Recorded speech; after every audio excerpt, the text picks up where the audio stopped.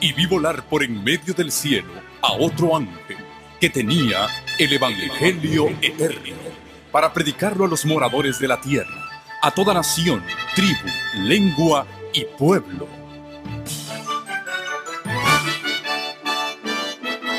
Con ustedes su programa cristiano con temas bíblicos de actualidad. Un programa que trae al mundo la verdad presente. Este es el Evangelio Eterno.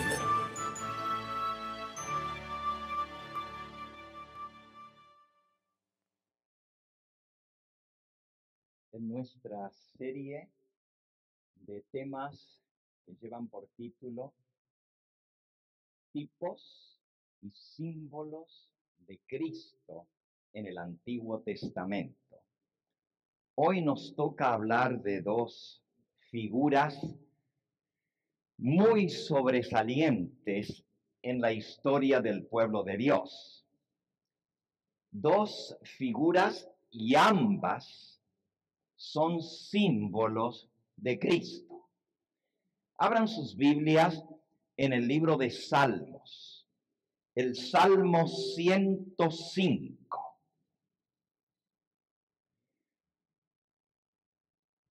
En nuestro último sermón de esta serie vimos a José como símbolo de Cristo, quien Dios usó para salvar a su familia y mantener con vida a mucho pueblo y sobre todo la ascendencia del Mesías. Después que José murió, terminamos en nuestra última presentación les hizo prometer que llevarían sus huesos a Canaán. Su padre Jacob había sido enterrado en Canaán. José con todo su séquito y con toda la familia habían acompañado al abuelo Jacob, ya con 145 años de edad a ser enterrado en la misma tumba en la cueva de Macpela donde su padre y sus abuelos estaban enterrados. Y después José y toda su familia regresaron a Egipto. La Biblia dice que se multiplicaron en la tierra de Egipto. Y pasaron algunas generaciones dice, hablando acerca de José en el Salmo 105, versículo 21. Y este fue el versículo de memoria de nuestra lección de escuela sabática, o más bien la lección que comienza hoy. Israel en Egipto lleva este versículo que está en nuestro boletín como el versículo de memoria, dice, hablando de José, versículo 21, lo puso por señor de su casa. Esto es, Faraón, el rey de Egipto, puso a José por señor de su casa y por gobernador de todas sus posesiones para que reprimiera a sus grandes como él quisiese y a sus ancianos enseñara sabiduría. Después entró Israel en Egipto y Jacob moró en tierra de Cam y multiplicó a su pueblo. Lo hizo más fuerte que sus enemigos cambió el corazón de ellos para que aborreciesen a su pueblo, para que contra sus siervos pensasen mal. Cuando la nación de Israel, que habitaba en la mejor tierra de Egipto, porque José, el Señor de toda la tierra de Egipto, les había entregado la tierra de Gosén, la más fructífera. Allí en unos 200 años que pasaron, los descendientes de Jacob sus doce hijos se multiplicaron, tuvieron nietos, y de 70 personas que entraron con Jacob en Egipto y después llegaron a ser 140 cuando fue la muerte de Jacob, que fueron a Canaán a enterrarlo de la nación de Israel. Esclavos, 400 años. Y ahora Dios los saca con brazo extendido y con poder al mando de un hombre que él escogió junto con su hermano Aarón. Si vamos al libro de Éxodo, encontramos aquí que hay unas palabras muy interesantes que Dios le dice a Moisés.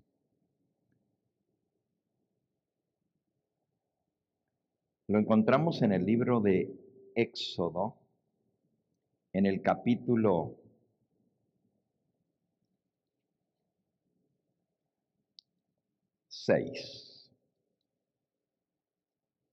dice que Dios le dijo a Moisés, dirás a los hijos de Israel, versículo 6, yo soy Jehová y yo los sacaré de debajo de las tareas pesadas de Egipto y los libraré de servidumbre y los redimiré con brazo extendido y con juicios grandes y os tomaré por mi pueblo y seré vuestro Dios. Y vosotros sabréis que yo soy Jehová vuestro Dios que os sacó de debajo de las tareas pesadas de Egipto. Y os meteré en la tierra por la cual alcé mi mano jurando que la daría a Abraham, a Isaac y a Jacob, y yo os la daré por heredad. Yo Jehová. Y de esta manera habló Moisés a los hijos de Israel. Pero ellos no escuchaban a Moisés a causa de la congoja de espíritu y de la dura servidumbre.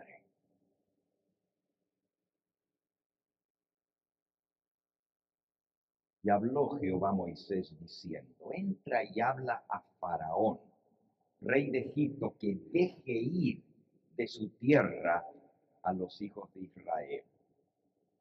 Y respondió Moisés delante de Jehová, y aquí son los hijos de Israel, no me escuchan. ¿Cómo pues me escuchará Faraón, siendo yo torpe de labios? Y entonces Dios escoge a Aarón para que acompañe a Moisés a hablar con Faraón. Dice el versículo 27. Estos son los que hablaron a Faraón, rey de Egipto, para sacar de Egipto a los hijos de Israel. Moisés y Aarón fueron estos. Jehová le dijo a Moisés, mira, yo te he constituido Dios para Faraón. Mm. Y tu hermano Aarón será tu profeta. Versículo 2 tú dirás todas las cosas que yo te mando. Noten que ese es el rol de un profeta. Dios le habla al profeta y el profeta dice lo que Dios le manda decir. Entonces, yo, dice, tú serás Dios para Faraón y tu hermano será profeta, Aarón. Y tú dirás todas las cosas que yo te mande, y Aarón, tu hermano, hablará a Faraón para que deje ir de su tierra a los hijos de Israel. Así que desde el comienzo, Moisés y Aarón, hermanos de sangre, trabajaron juntos. Y Dios utilizó a estos dos hombres que Él escogió. No es que Moisés era Dios, pero es una ilustración que Dios está usando. Así como yo, como Dios, hablo a un escogido mío y Él es mi vocero para los demás, así tú serás el que le vas a decir a tu hermano lo que yo te diga y tu hermano va a ser como el profeta, el vocero, que le va a decir a Faraón.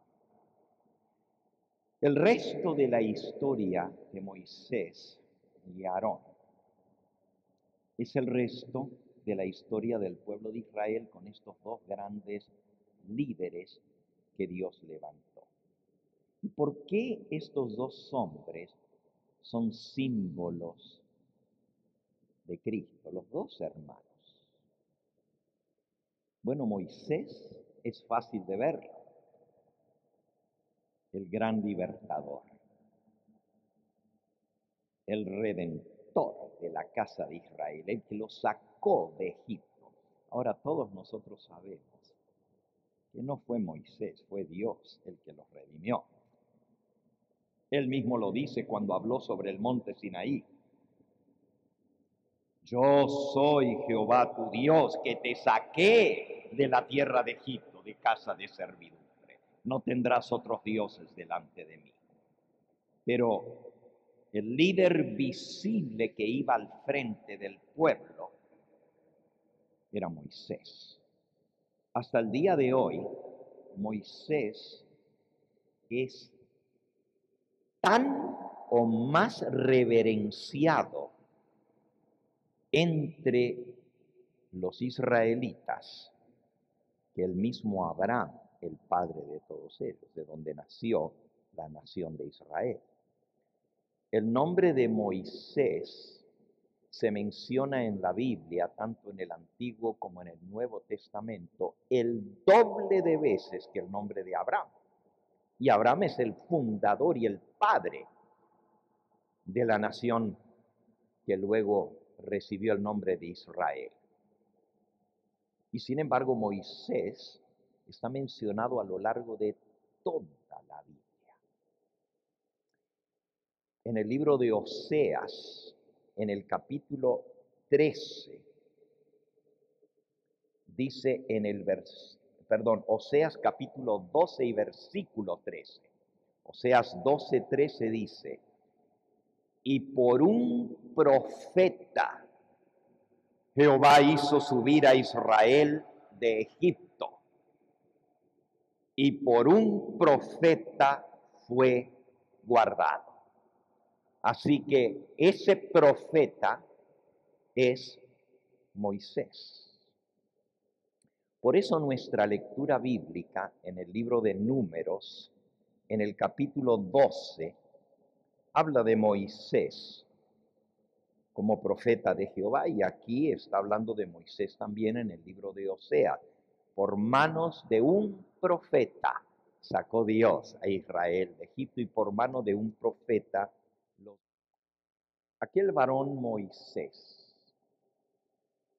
era muy manso, más que todos los hombres que había sobre la tierra. Y luego dijo Jehová a Moisés y a Aarón y a María, los tres hermanos, salid vosotros tres al tabernáculo de reunión. Y salieron ellos tres. Entonces Jehová descendió en la columna de la nube y se puso a la puerta del tabernáculo. Y llamó a Aarón y a María, y ambos salieron juntos. Y él les dijo, oíd ahora mis palabras. Cuando haya entre vosotros profeta de Jehová, le apareceré en visión en sueños hablaré con él.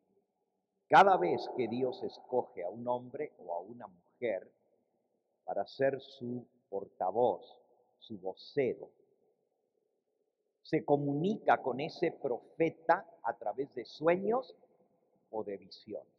Pero hay una distinción con Moisés.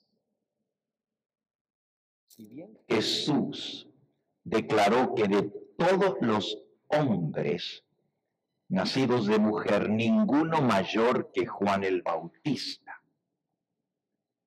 el mayor de todos los profetas, pero ni siquiera Juan el Bautista fue el mayor de todos los profetas. Mayor que Juan el Bautista, que fue profeta, pero Jesús no dice que él fue el mayor profeta, sino que dice que de todos los hombres nacidos de mujer, ninguno mayor que Juan. Mayor que Juan el Bautista como profeta fue Moisés. Tampoco Moisés fue el mayor de todos los profetas, como vamos a ver hoy. Pero miren lo que dice de Moisés, la distinción que Dios hace entre todos los profetas y Moisés. Versículo 6, otra vez. Oír ahora mis palabras. Cuando haya entre vosotros profeta de Jehová, le apareceré en visión, en sueños hablaré con él. No así a mi siervo Moisés, que es fiel en toda mi casa. Cara, cara, hablaré con él. Y claramente, y no por figuras, o símbolos o visiones. Y él verá la apariencia de Jehová. ¿Por qué, pues, no tuvisteis temor de hablar contra mi siervo Moisés? ¿Ustedes saben quiénes eran los que estaban hablando contra Moisés? ¿Por qué creen que Dios los llamó a los tres al frente de todo el campamento? Y Dios descendió sobre la nube y dijo, Aarón y María den un paso al frente. Y les habló directamente desde la nube. Y les dijo, cuando yo hable a través de un profeta, me voy a aparecer a él en sueños y en visiones, pero no así con Moisés, mi siervo. Cara a cara hablaré con él y verá la apariencia de Jehová, su figura. ¿Por qué pues no tuvisteis temor de hablar contra mi siervo Moisés? Y la ira de Jehová se encendió contra ellos. Y la nube se apartó del tabernáculo, y aquí que María estaba leprosa como la nieve. Y miró Aarón a María, su hermana, y aquí que estaba leprosa. Y Aarón le dijo a Moisés, Ah, Señor mío, no pongas ahora sobre nosotros este pecado, no lo tomes en cuenta, porque locamente hemos actuado y hemos pecado. Vean el versículo 1. María y Aarón hablaron contra Moisés a causa de la mujer cusita que había tomado, porque él había tomado mujer cusita. Ya en aquella época existía la discriminación y el racismo. aunque Moisés no era de tez blanca con ojos azules, sin embargo su mujer era cusita, era de raza negra, era de raza negra. Y Moisés era semita. Recuerdan los descendientes de Cus que vienen de Canaán, de Cam. Y Moisés había escogido a esta mujer por esposa. Y se había casado con una mujer de raza negra. Dios no condenó eso. Pero sí condenó cuando su hermano Aarón y su hermana María comenzaron a hablar mal de Moisés y dijeron, se casó con esa negra. Agarró una mujer cusita. Y Dios dijo, ¿por qué no tuvisteis respeto por mi siervo, a quien yo escogí? ¿Por qué hablasteis mal contra mi siervo Moisés? Y Dios se enojó.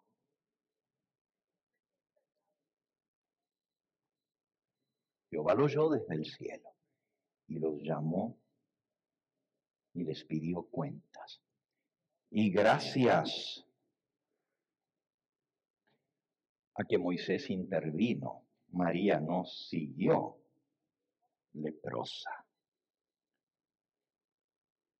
Dice el versículo 13, Moisés clamó a Jehová, diciendo, te ruego, oh Dios, que la sanes.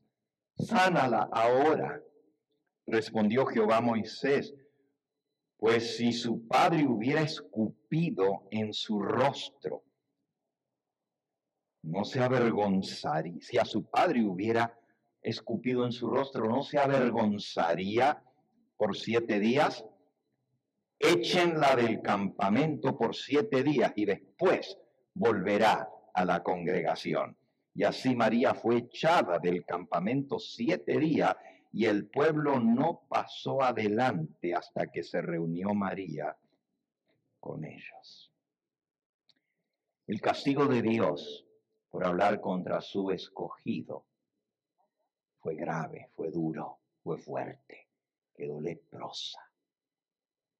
Y Dios no le quitó la lepra, él se la podía quitar en ese momento. Pero dijo, siete días fuera del campamento, para que el pueblo entero aprenda a respetar al siervo escogido de Dios. Ahora ustedes saben que María también era profetisa. Lo pueden leer en el libro de Éxodo, en el capítulo 16 y en el versículo 15 y versículo 20. Cuando cruzaron el mar, dice María la profetisa, hermana de Aarón, tomó un pandero en su mano y todas las mujeres salieron en pos de ella con panderos y danzas. María la profetisa. No solamente hablaron contra Moisés por la mujer negra con la cual se había casado, sino que se quisieron hacer igual a él. Parece que Dios es quien escoge y no los hombres. Si vuelven a números 12, dice el versículo 2, Moisés y Aarón dijeron, ¿acaso solamente por Moisés ha hablado Jehová? ¿No ha hablado también por nosotros? Y Jehová lo oyó. Ahora Moisés no se los tuvo a mal. Por eso el versículo que sigue, el 3, declara, y aquel varón Moisés era muy manso, más que todos los hombres que había sobre la tierra. Moisés no se quejó.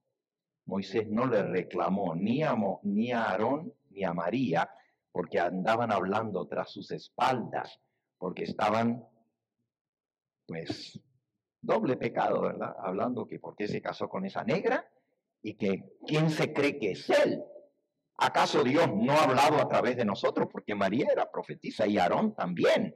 A través del Urim y el Tumim, Dios le hablaba.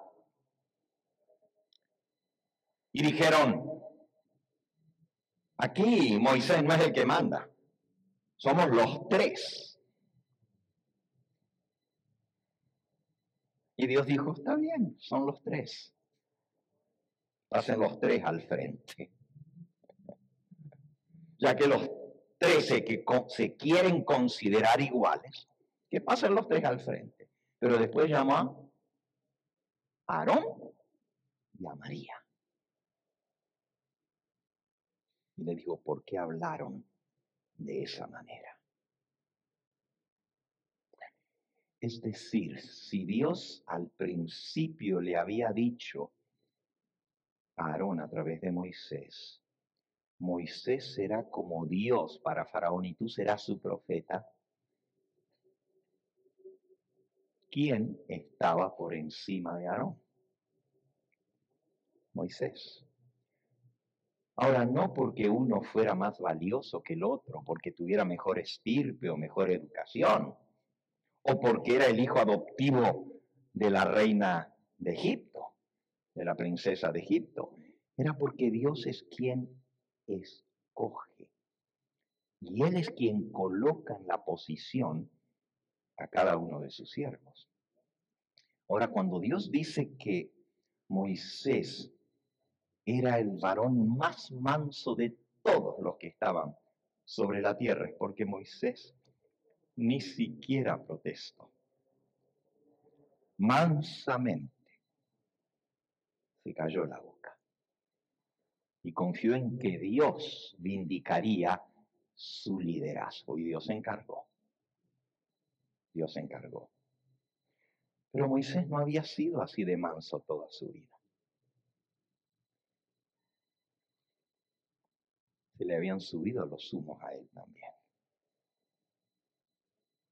Los años que pasó en Egipto lo habían hecho soberbio, lo habían hecho valerse de sí mismo, tenía el poder en la mano, podía hacer lo que él quería, era el hijo de la princesa que eventualmente llegó a ser la nueva reina de Egipto y él podría haber sido el heredero al trono de Egipto, tal como lo dice el libro de Hebreos.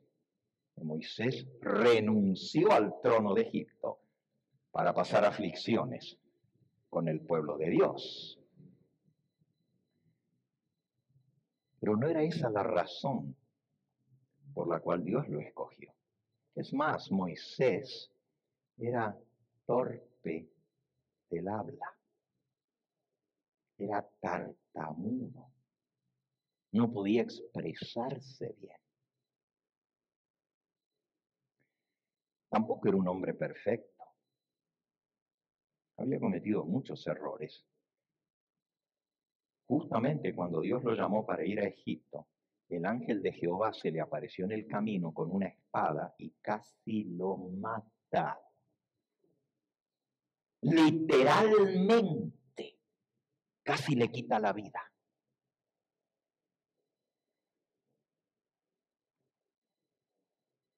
La esposa, la cusita, la negrita, corrió a la defensa de su esposo, porque Moisés no había circuncidado a sus hijos. Y ella corrió y agarró un cuchillo de piedra, un pedernal. Por cierto, cuando estuve en esa zona donde Moisés cuidaba las ovejas, ah, allá en el desierto, de Oreb, vi una piedra en el suelo y la recogí. La recogí y era tan filosa que yo la usé cuando llegamos a Jericó. Había mangos y papayas y no teníamos un cuchillo porque íbamos en viaje. Y yo había guardado esa piedra en nuestro paso y la usé a esa piedra que era como un cuchillo de filosa para pelar el mango y para cortar la papaya. Así dice la Biblia que la mujer de Moisés, Séfora, había agarrado una piedra y había circuncidado a sus hijos. y le salvó la vida a Moisés. Moisés no era un hombre perfecto y tenía un carácter soberbio e iracundo. Ustedes recuerdan el episodio cuando vio una injusticia y tomó la ley en su mano y se atrevió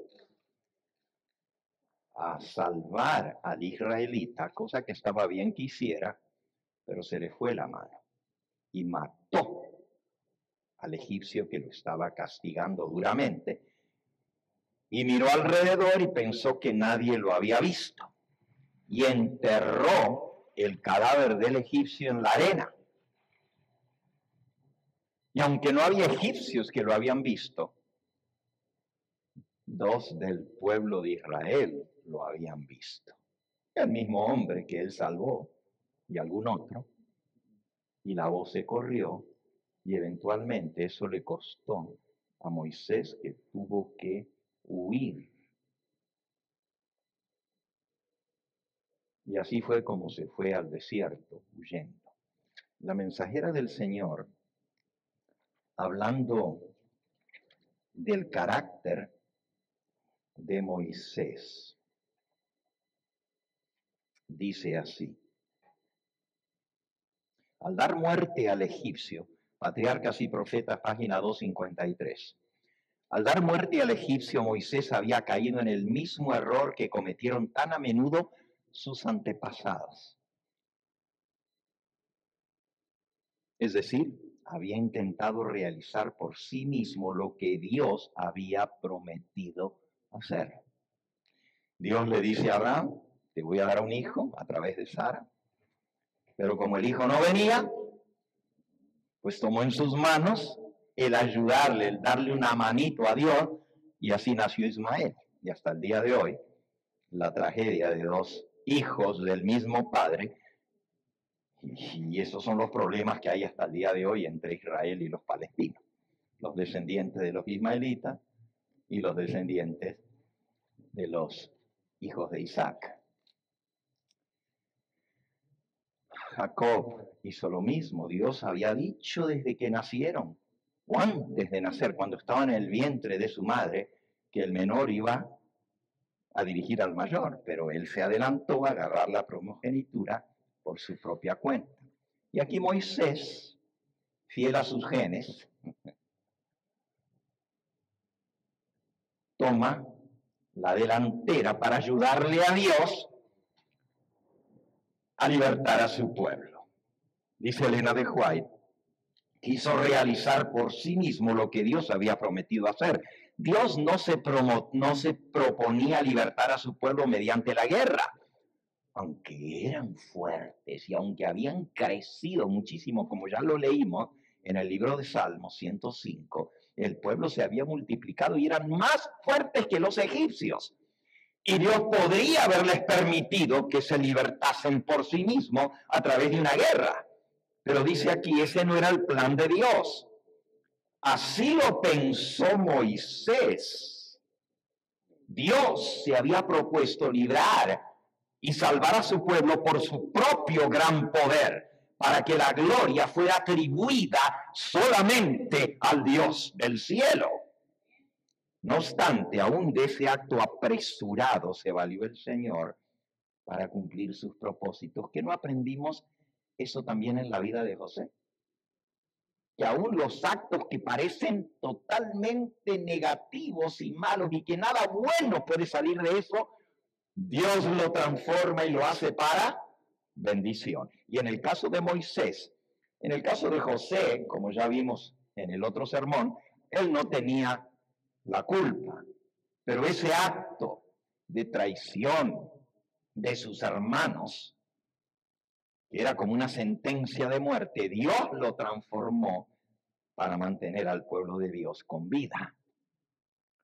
Ahora, en este caso, Moisés quiso adelantarse al plan de Dios y mató al egipcio, pero Dios, a pesar del pecado, terrible que él cometió, porque eso se llama asesinato.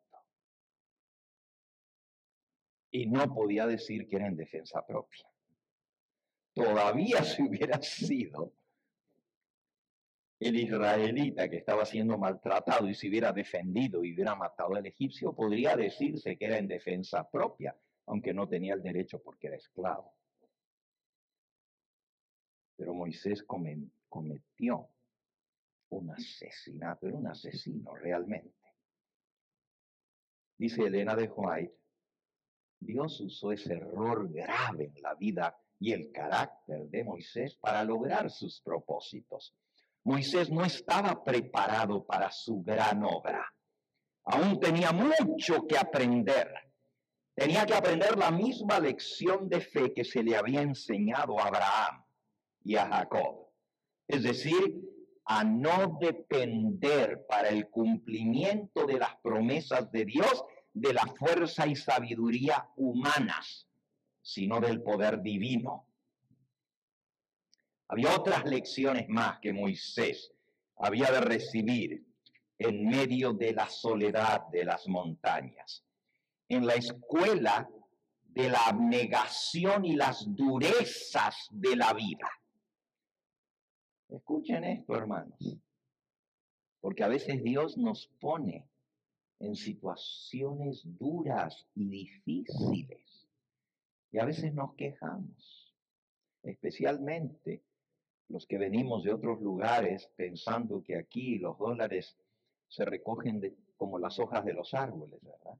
Y luego nos toca trabajar duro y arduamente y nos maltratan y se abusan de nosotros por no tener papeles y, y estamos en la estrata de la sociedad más baja. Aún eso Dios lo permite para nuestro bien. Miren lo que dice aquí en la escuela de la abnegación y las durezas, había de aprender Moisés a ser paciente y a temperar sus pasiones. Acabamos de leer en números 12 que Moisés era el más manso, el más paciente de todos los seres humanos. Oh, hablamos de la paciencia de Job y todo lo que a él le pasó. Pero a Job no se le llama el hombre más manso y más paciente, se le llama Moisés. De todos los hombres de la tierra, el más paciente. Pero no era así por naturaleza. Lo aprendió sometiéndose a Dios. Miren lo que dice. Antes de poder enseñar el conocimiento de la divina voluntad a Israel, su propio corazón debía estar en plena armonía con Dios. Mediante su propia experiencia debía prepararse para ejercer un cuidado paternal sobre todos los que necesitaran su ayuda. El ser humano se habría evitado ese largo periodo de trabajo y oscuridad por considerarle una gran pérdida de tiempo. ¿Cuántos años pasó Moisés en el desierto de Madián? 40 años. Miren, cuando él estaba en Egipto, ustedes recuerdan, los primeros 12 años los pasó con su madre. Fue libertado de una muerte segura porque había un decreto de muerte contra todo niño que nacía de los hebreos en Egipto. Mataban. La madre lo puso en una cestita y la hija del rey, la princesa, lo vio, se prendó del niño tan precioso y lo adoptó. Pero se lo dio a la madre, a Jocabed, para que ella lo criara. Y si vieran lo que dice Elena de White sobre esto, escuchen lo que dice para las madres ahora, aunque mañana es el Día del Padre, pero vamos a honrar a las madres con la lectura de esto. Dice, Dios oyó las oraciones de esa madre su fe fue premiada, con profunda gratitud emprendió su tarea que ahora no entrañaba ningún peligro, porque ahora tenía el permiso de la princesa. Aprovechó fielmente la oportunidad de educar a su hijo para Dios. Estaba segura de que había sido preservado para una gran obra y sabía que pronto debía entregarlo a su madre adoptiva y se vería rodeado de influencias que tenderían a apartarlo de Dios. Sabiendo todo esto, esa madre, fiel a Dios, hizo que su obra fuera más diligente y cuidadosa en la instrucción que en la de sus otros hijos. Ella tenía a María, ella tenía a Aarón, pero a este, los 12 años, y fueron solo 12 años hasta, todavía no había llegado a la pubertad, cuando le fue entregado a la princesa. Pero esos 12 años, ella sabía que cada día, cada día que tenía ese niño al lado de ella, tenía que enseñarle las lecciones que harían de él un gran hombre y cumpliría a través de su carácter el propósito que Dios tenía para él. Sigue diciendo, trató de inculcarle la reverencia a Dios y el amor a la verdad y la justicia. Y oró fervorosamente que fuese preservado de toda la influencia corruptora de la corte de Egipto. Le mostró la insensatez y el pecado de la idolatría y desde muy temprana edad le enseñó a postrarse y a orar al Dios viviente, el único que podía oírle y ayudarle en toda emergencia. Escuchen ahora lo que dice. A Moisés no se le borraron las impresiones que había aprendido de su madre en su niñez no podía olvidar las lecciones que su madre le enseñó. Le fueron un escudo contra el orgullo, la incredulidad y los vicios que florecían en medio del esplendor de la corte. Cuán extensa en sus resultados fue la influencia de aquella sola mujer hebrea, a pesar de ser una esclava desterrada toda la vida de Moisés y la gran misión que cumplió como caudillo y libertador de Israel dan fe de la importancia de la obra de una madre piadosa. Ninguna otra tarea se puede igualar a esta, a la de una madre. En un grado sumo, la madre modela con sus manos el destino, el carácter de sus hijos influyen las mentes y los caracteres y obra no solo para el presente, sino también para la eternidad. Siembra la semilla que germinará y dará fruto, ya sea para bien o para mal.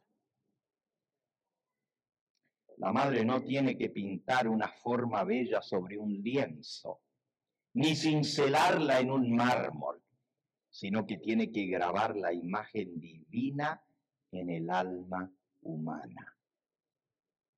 Las impresiones que en ese tiempo se hacen sobre la mente de sus hijos que están en proceso de desarrollo permanecerán a través de toda su vida, especialmente los años tiernos de los hijos, es cuando se forma el carácter.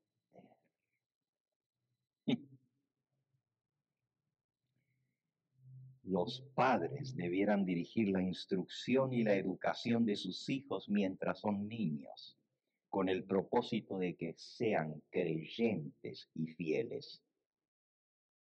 Son puestos bajo nuestro cuidado para que los eduquemos no como herederos del trono de un imperio terrenal, sino como reyes para Dios, que han de reinar a través de las edades sempiternas. Cuán importante es la obra de una madre fiel y también de un padre. Volviendo ahora a la historia de Moisés, a pesar de que los primeros doce años de su vida fueron moldeados por esa madre piadosa. La influencia de Egipto se sintió pesadamente sobre él. Oh, no cayó en la idolatría, no cayó en la adoración de los dioses de Egipto. Pero a veces cuando se llega a una posición importante y se ve que los demás lo miran con deferencia, se le puede subir el puesto a la cabeza. Y eso fue exactamente lo que le pasó a Moisés. Era el hijo de la hija del rey. Era el nieto del rey de Egipto, el soberano más poderoso de las naciones de aquella tierra. Y él era el que seguía en la línea del trono. Y todo esto ah, se le subió a la cabeza. Dice la sabiduría infinita determinó que el que había de ser el caudillo de su pueblo pasara 40 años haciendo el humilde trabajo de un pastor de ovejas. Así desarrolló hábitos de atento cuidado, olvido de sí mismo y tierna solicitud por su rebaño que lo prepararon para ser el compasivo y paciente pastor de Israel. Ninguna ventaja que la educación o la cultura humana pudiesen otorgar podría haberle sustituido esta experiencia. Es decir, tú puedes tener toda la educación que hayas recibido. Puedes ser profesional en lo que haces, pero si no eres humilde, si no eres manso, de nada te sirve. Todo el orgullo que puedas tener queda revolcado por el suelo si tu carácter no va de acuerdo con aquel cargo que desempeñas por tener educación o posición o estudio. Moisés había aprendido muchas cosas que debía olvidar. Las influencias que le habían rodeado en Egipto, el amor a su madre adoptiva, su, su propia elevada posición como nieto del monarca, el libertinaje que reinaba por doquiera, el refinamiento, la sutileza, el misticismo de una falsa religión, el esplendor del culto idólatra, la solemne grandeza de la arquitectura y la escultura de Egipto, que hasta el día de hoy cuando uno va se queda boquiabierto de ver esas tremendas efigies y esas pirámides y esos templos en Egipto. Y estamos hablando de cosas que sucedieron hace cuatro mil años atrás y todavía están en pie esos edificios. Y Moisés corría entre ellos porque era el nieto del rey. Entraba y salía de los palacios porque era su casa. El tiempo, el cambio de ambiente y la comunión con Dios que aprendió en el desierto era lo único que podía hacer desaparecer esas impresiones que le habían afectado mientras estuvo en el palacio real. Exigiría de parte de Moisés mismo casi una lucha muerte para renunciar al error que se le había filtrado y aceptar la verdad en su pureza. Pero Dios sería su ayudador cuando el conflicto fuese demasiado severo para sus fuerzas humanas.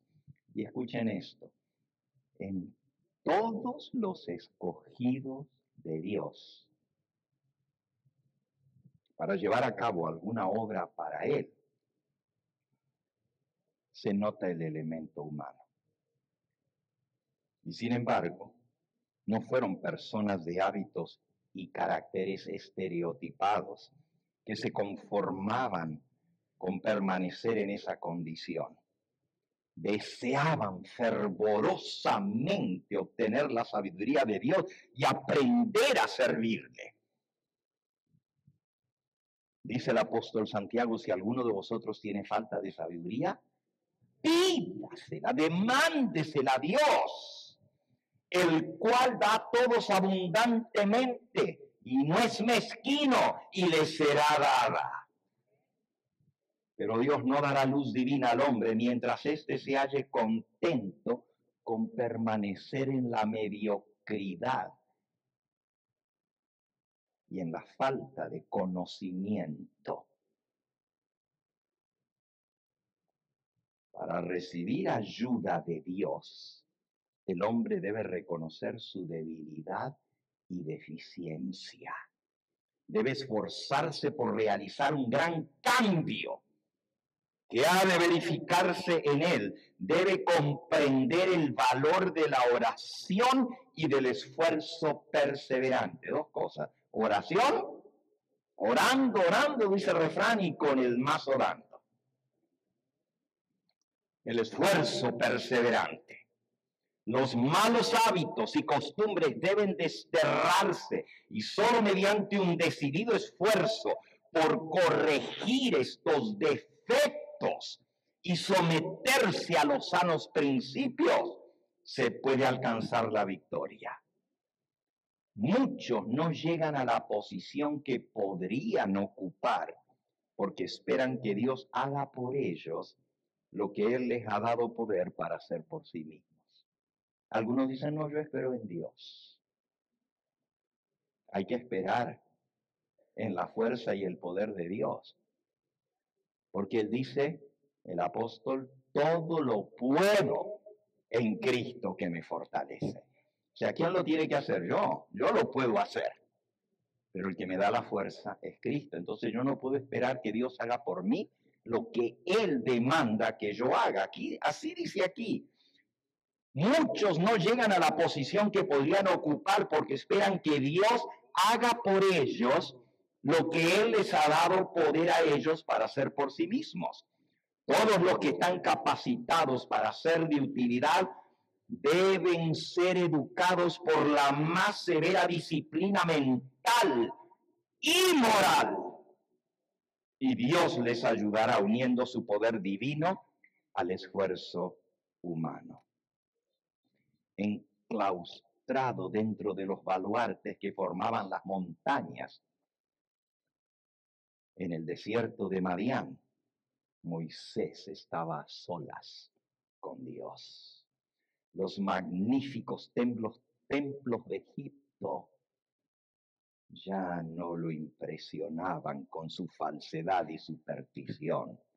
La solemne grandeza de las colinas sempiternas y de las montañas majestuosas, percibía la majestad del Altísimo. Y por, por contraste, comprendía cuán impotentes e insignificantes eran los pobres dioses de Egipto. Por doquiera veía escrito el nombre del Creador Moisés parecía encontrado por su poder. Allí fueron barridos el orgullo y su confianza propia, su soberbia, que él valía más que los demás y que él podía hacer las cosas mejor que los demás.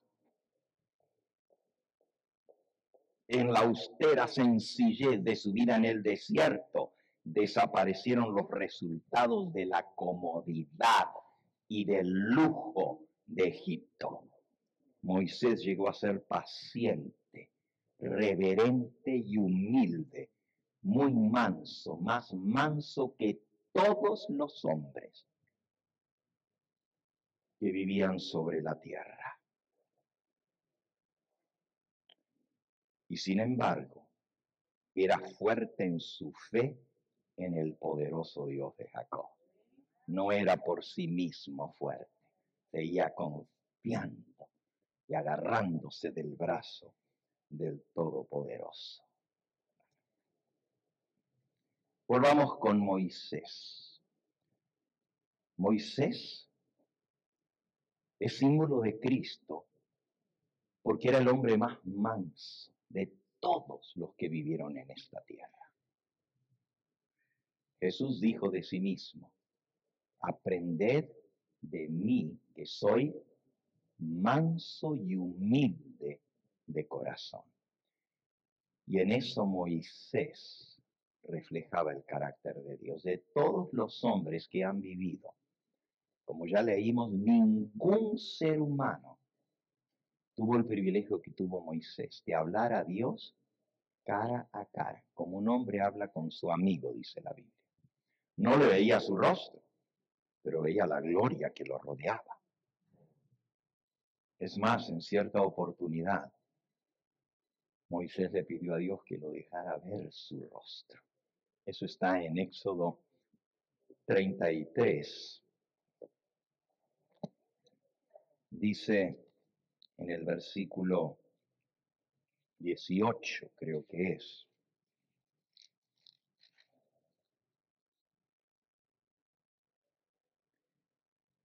Le dijo Moisés a Dios, te ruego que me muestres tu gloria. ¿Sabe lo que es eso? Decirle a Dios, muéstrame tu gloria. Le respondió Jehová, yo haré pasar todo mi bien delante de tu rostro y proclamaré el nombre de Jehová. Delante de ti tendré misericordia del que tendré misericordia y seré clemente para con el que seré clemente. Pero dijo más, versículo 20, no podrás ver mi rostro porque no me verá hombre y vivirá. Y fue el único le dice la Biblia que Dios le dijo, apróntate, voy a pasar delante de ti. Versículo 21. Ahí hay un lugar en la peña. Y cuando pase mi gloria delante de ti, yo te pondré en una hendidura de la peña y te cubriré con mi mano hasta que haya pasado y después apartaré mi mano y verás mis espaldas, pero no se verá mi rostro. ¿Se imaginan? Dios mismo lo puso en una cueva y tapó, ¿cómo será de grande la mano de Dios? tapó la entrada a la cueva donde estaba Moisés y pasó todo su regalía delante de él. Y cuando terminó de pasar, quitó la mano y Moisés miró y le vio las espaldas, pero no vio su rostro. Este hombre Moisés dio al pueblo de Israel y ya leímos que se le llama pastor de Israel. Este es otro símbolo de Cristo. La Biblia dice Jehová es mi pastor y ese es Cristo. Jesús dijo yo soy el buen pastor. Y Moisés fue no solo pastor de ovejas, sino pastor de una congregación de más de un millón de miembros. Y no lo pudo hacer solo. Dios le dio instrucciones a través de Jetro, su suegro, cómo organizar el pueblo, cómo establecer jueces sobre toda esa gran muchedumbre. No tenemos tiempo de leer la historia y todo lo que pasó entre él y el pueblo de Israel. Pero la Biblia dice que el pueblo era muy, pero muy rebelde. Solamente un versículo.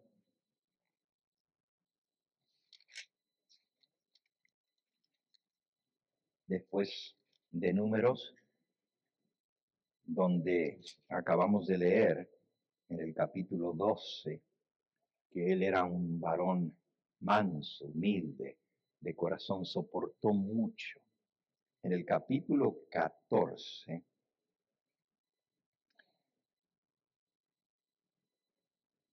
Moisés intercede ante Jehová por el pueblo. Y esto sucedió muchas veces. Cuando Moisés subió al monte y estuvo 40 días, el pueblo se rebeló contra Dios, levantaron un becerro de oro y lo adoraron. Y se encendió la ira santa de Jehová. También la ira de Moisés. ¿eh? Pero en esto Dios no lo condena, porque su celo era celo santo cuando vio cómo estaban adorando un Dios falso. Y Moisés que bajaba del monte con las piedras grabadas por el dedo de Dios, cuando vio lo que el pueblo estaba haciendo, después de haber escuchado la voz de Dios y temblado ante su presencia, que les había dicho, no te harás imagen ni te postrarás delante de las imágenes. Y aquí estaba el pueblo adorando la imagen del becerro de oro. Cuando Moisés baja y ve lo que están haciendo, arroja las tablas de piedra al pie del monte y las quiebra. Y luego dice la historia que tomó el becerro de oro y lo derritió y después lo molió y lo hizo polvo y lo regó en las aguas y se los hizo tomar al pueblo de Israel. Tomen su Dios. Estaba enojado Moisés. Y Dios no lo condenó por esa ira santa, porque era una ira por haber transgredido los mandamientos de Dios. Y sabemos que no era una ira de odio contra el pueblo, sino un celo por la lealtad a Dios, porque unos versículos más adelante Dios dice, hazte un lado y voy a borrar este pueblo, voy a hacer de ti, de tu descendencia, una nueva nación. En vez de conocerse como los hijos de Jacob, los hijos de Israel, ahora se van a conocer como los descendientes de Moisés. Claro. Si eso hubiera encontrado una cuerda en aquel hombre que había sido tan orgulloso, hubiera dicho, wow, ahora va a ser el pueblo de Moisés. Pero la Biblia dice que Moisés le dijo al Señor, Señor, perdona a tu pueblo. Y si no lo vas a perdonar, ráeme a mí del libro de la vida. Elena de White, y ya no voy a leer el pasaje de patriarcas y profetas, porque el tiempo ha transcurrido, pero Elena de White dice que en ese momento es donde Moisés se asemeja más a Cristo. Allí es donde él refleja plenamente la imagen del Señor, porque ofrece su vida para la salvación del pueblo. Ese es un verdadero líder. Ese es un verdadero hombre de Dios que no piensa en sí mismo, sino en el bienestar de los hijos de Dios. Intercedió y Dios los perdonó.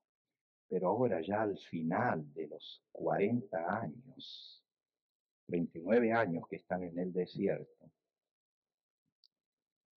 llegan a reconocer la tierra, y eso está en el libro de números en el capítulo 14. En el 13 están los dos espías que entran. Perdón, esto no es la segunda vez que llegan a Canaán, esto es la primera vez. Antes de que Dios los condenara a estar 40 años en el desierto.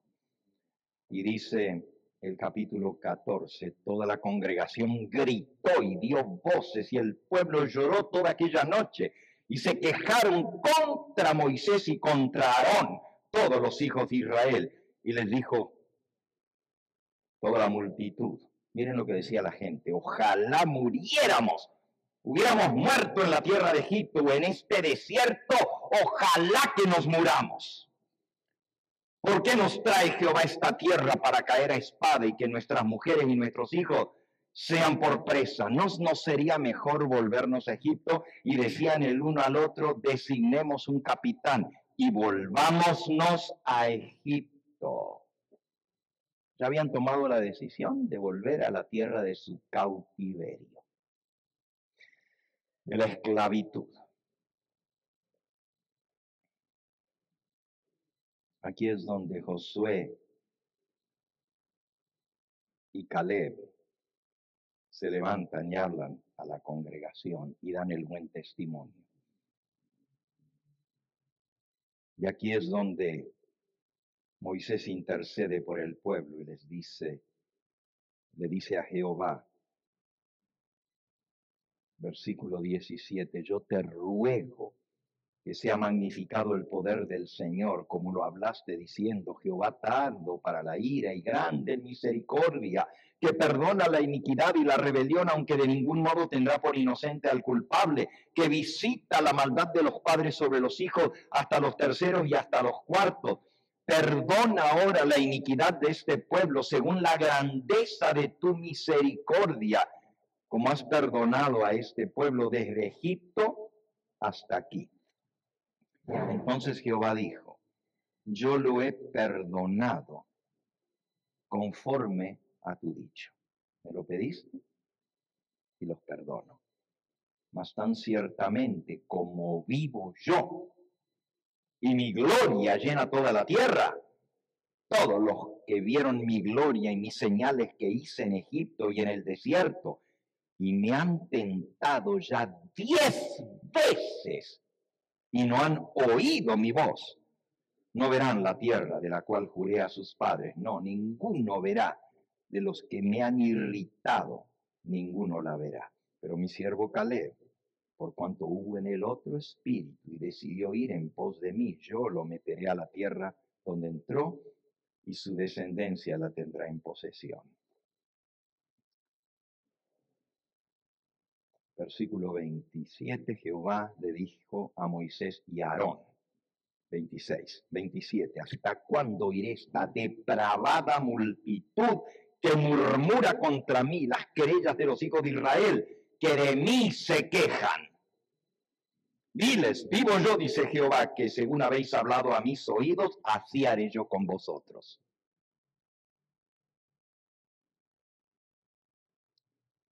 en este desierto caerán vuestros cuerpos.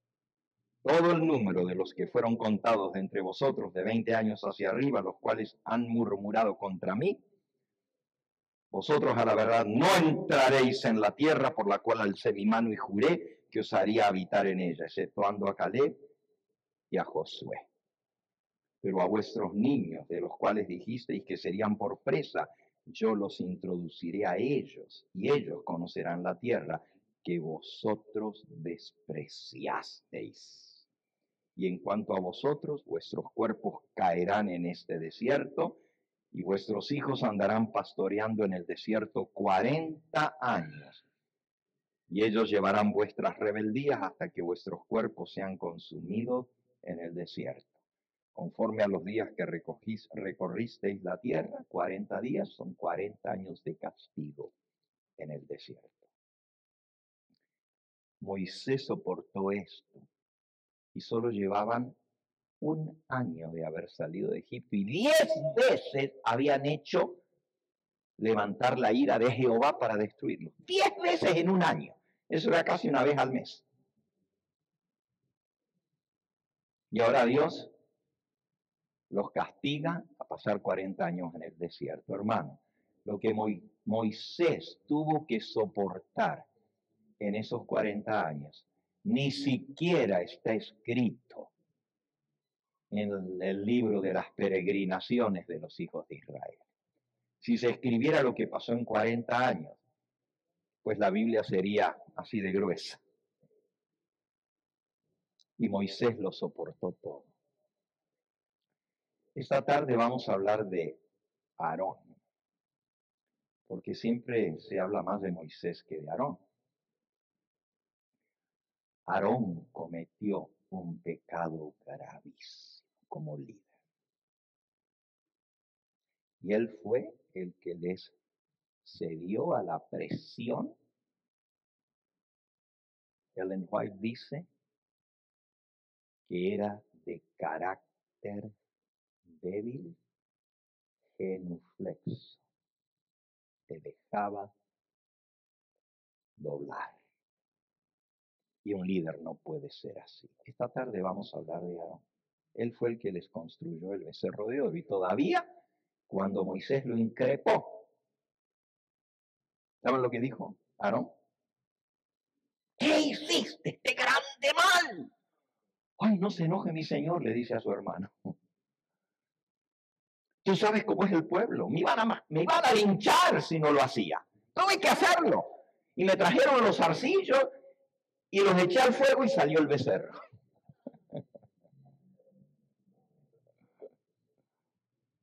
Fue Aarón. Pero saben que Aarón también es símbolo de Cristo. Y usted dice, ¿cómo ese hombre que cometió ese grave error y pecado puede llegar a ser un símbolo de Cristo? Aarón representa a Cristo como sumo sacerdote. Y Moisés es símbolo de Cristo como profeta. Y David es símbolo de Cristo como rey. Ninguno de esos tres hombres fueron perfectos. Al contrario, cometieron graves errores y tuvieron que luchar contra sus defectos de carácter. Termino con Moisés en esta hora, el último capítulo de su vida, aunque hay tanto para hablar de Moisés. Pero un poquito antes de que Moisés pasara al descanso, los dos hermanos que habían estado juntos casi toda su vida,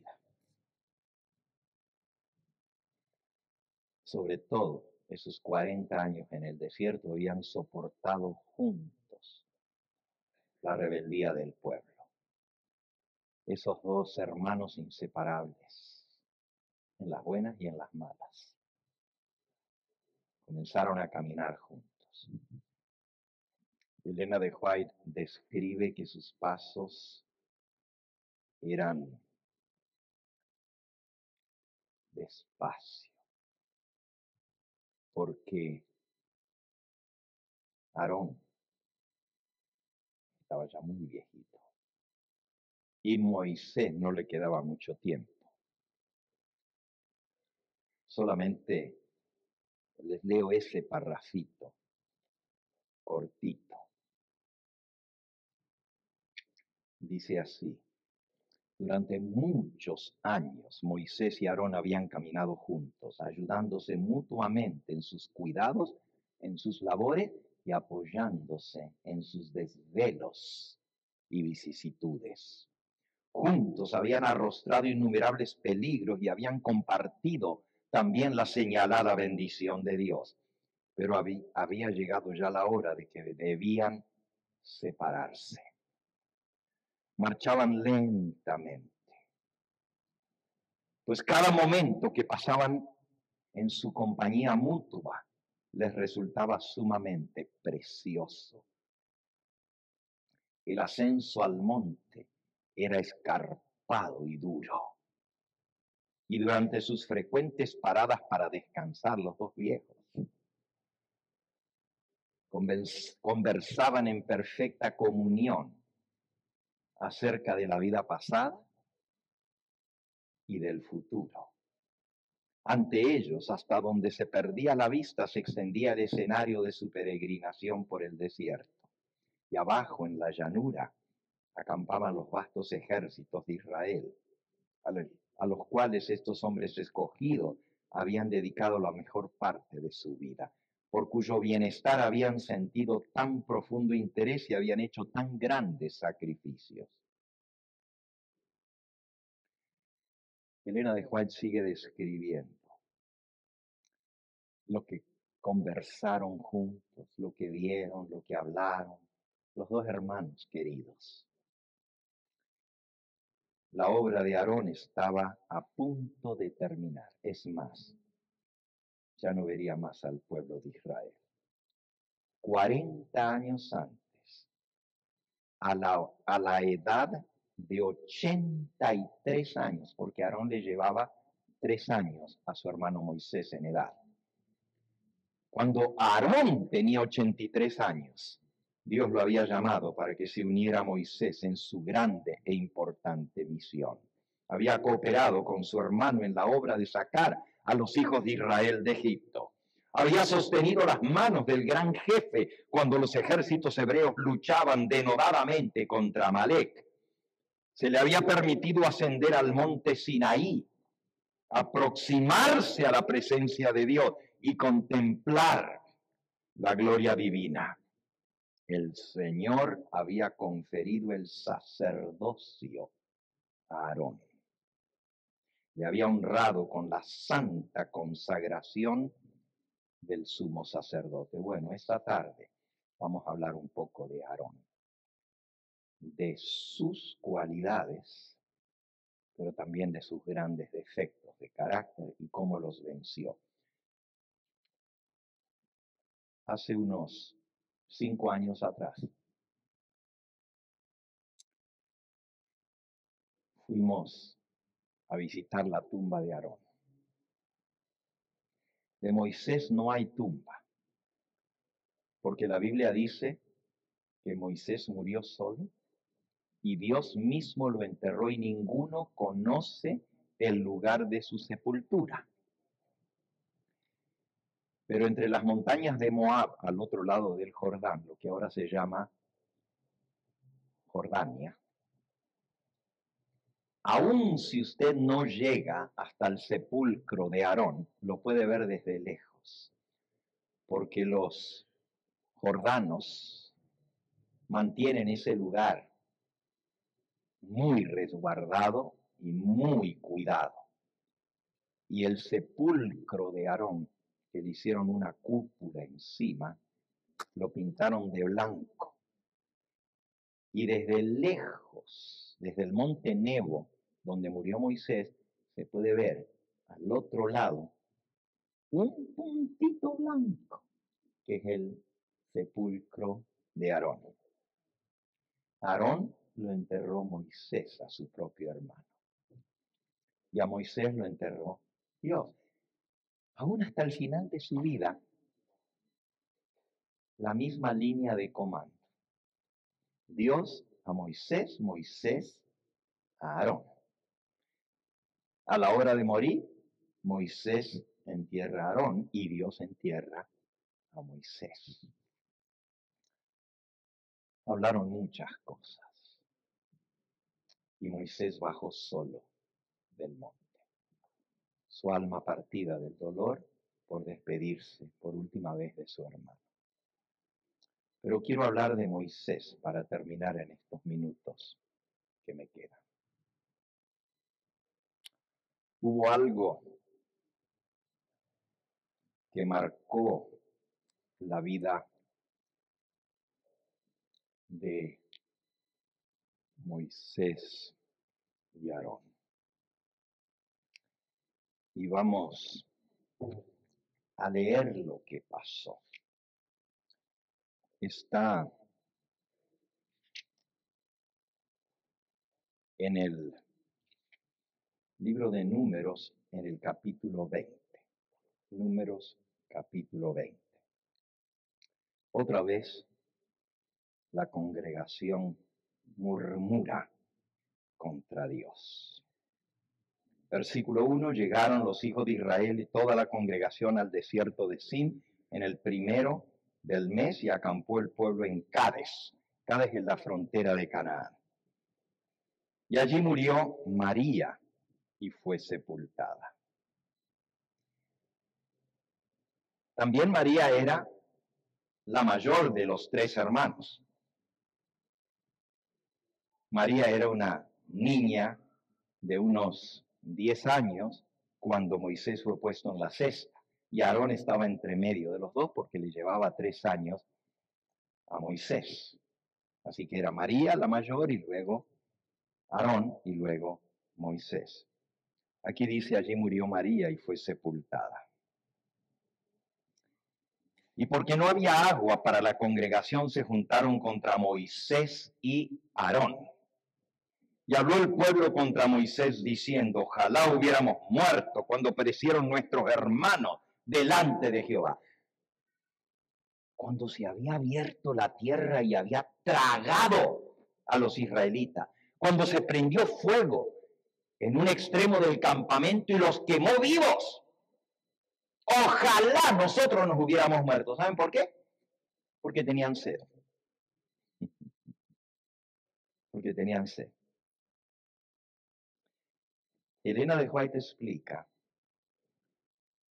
por qué no tenían agua. Nosotros hablamos, cuando hablamos de la roca como símbolo de Cristo, que esa roca espiritual, dice 1 Corintios 10, 4, los seguía durante 40 años. Donde quiera que acampaban, se despertaban por la mañana y ahí estaba la roca fluyendo agua. Increíble. En todos sus peregrinajes, en 40 años, no le faltó el agua. Y no porque iban buscando a donde había agua. La roca los seguía y la roca era Cristo. Así como no les faltó el pan, porque Cristo es el pan que descendió del cielo, el maná, y Él les proveía todos los días y el viernes doble pan y el sábado no caía. Por 40 años no le, faltó. Y también de eso se quejaron. ¿Saben lo que dijeron? Estamos hartos de este pan. Siempre comiendo lo mismo. ¿Quién nos diera carne a comer? Nos acordamos de las cebollas y de los ajos y de los vegetales de Egipto, de las ollas de carne de Egipto. Y este pan es demasiado liviano, estamos hartos de él, en medio del desierto. Eso había pasado antes. Ahora les falta el agua, pero ¿por qué les faltaba el agua? Elena de White dice que habían llegado a la frontera. Dice, antes que Dios les permitiese entrar en la tierra de Canaán, los israelitas debían demostrar que creían en su promesa. El agua dejó de fluir antes que llegaran a Edom. Tuvieron pues, por lo menos durante un corto tiempo, oportunidad de andar por la fe en vez de andar confiados en lo que veían. Todos los días, por 40 años, ahí estaba la roca que fluía agua, pero ahora no estaba la roca. ¿Pero por qué? Estaban llegando a Edom y ahí había agua. Ya no iban a necesitar que Dios les proveyese en forma sobrenatural el agua en medio del desierto porque iban a poder comer, a tomar de las aguas que fluían por Edom. Era una prueba. Oh, les podría haber cortado el agua cuando estuvieran viendo el río, pero no. Dios les quitó el agua un poquito antes para probarlos a ver si confiaban en Él y en sus promesas. Pero el mismo Espíritu turbulento y desagradecido que habían manifestado sus padres antes, se volvió a manifestar. Y estos eran los hijos que habían pasado 40 años en el desierto. Como Moisés debieran habido a aprender, tendrían que haber aprendido a confiar en Dios. ¿Cómo no van a confiar si por 40 años les ha dado pan que no les faltó un solo día y el viernes le daba doble pan para que no recogieran en sábado. 40 años no se les habían desgastado las suelas de sus zapatos, andando entre piedras. Les aguantaron los zapatos por 40 años y no les había faltado el agua. Oh, nomás cuando salieron de Egipto y llegaron a Mara, y el agua era amarga y Dios la transformó. De ahí en adelante la roca los acompañó por 40 años y todos los días tenían agua. Y ahora, a la primera vez, ¿y dónde está la roca? ¿Y dónde está la roca? Y no había. Dios los prueba. Cuando Moisés oyó el clamor de agua en el campamento, se olvidaron todos ellos de la mano que durante 40 años había suplido sus necesidades y en lugar de pedirle ayuda a Dios, murmuraron contra él, exclamando en su desesperación, ojalá que nos hubiéramos muerto con nuestros hermanos, que se los tragó la tierra o que los quemó el fuego. Ingratos, ¿verdad? Qué desagradecidos. 40 años no le había faltado el agua en medio de un desierto. Y ahora, la primera vez que le faltaba un poquito de agua, ya estaban blasfemando contra Dios.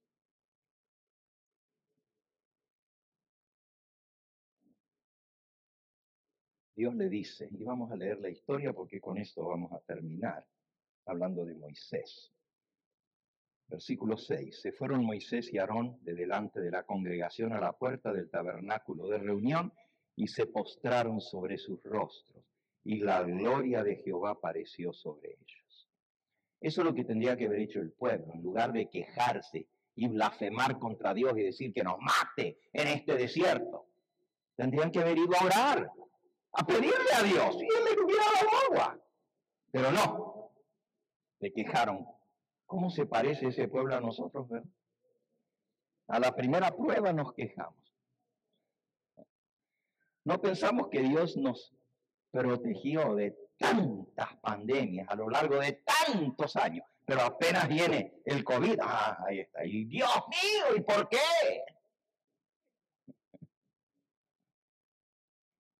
En lugar de orarle al Señor. La gloria de Jehová se posó sobre Moisés y Aarón. Y habló Jehová a Moisés diciendo, toma la vara, versículo 8, y reúne la congregación, tú y tu hermano Aarón y hablad a la peña a la vista de ellos. Hablad a la peña a la vista de ellos, y ella dará su agua, y le sacará aguas de la peña, y darás de beber a la congregación y a sus bestias. Entonces Moisés tomó la vara de delante de Jehová, como él le mandó. Recuerden que la vara ya estaba dentro del tabernáculo que Dios le había dicho que pusiera la vara allí. La toma de delante de Jehová. Y reunieron Moisés y Aarón a toda la congregación delante de la peña. Y les dijo, ahora fíjense que todavía la peña estaba. Nunca se apartó de ellos la peña. Si ustedes leen en 1 Corintios 10.4, dice que la peña, que era Cristo, nunca se apartó de ellos en todas sus peregrinaciones. Ahí estuvo. Y eso no lo veían como un milagro, que donde quiera que llegaban, mientras iban caminando no había piedra.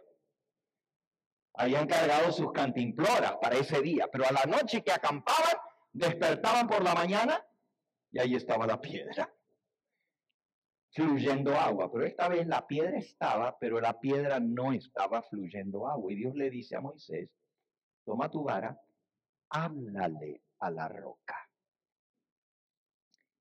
y darás de beber a la congregación. Versículo 10. Reunieron Moisés y Aarón la congregación delante de la peña y, y, y Moisés les dijo, oíd ahora, rebeldes os hemos de hacer salir aguas de esta peña. Entonces alzó Moisés su mano y golpeó la peña con su vara dos veces.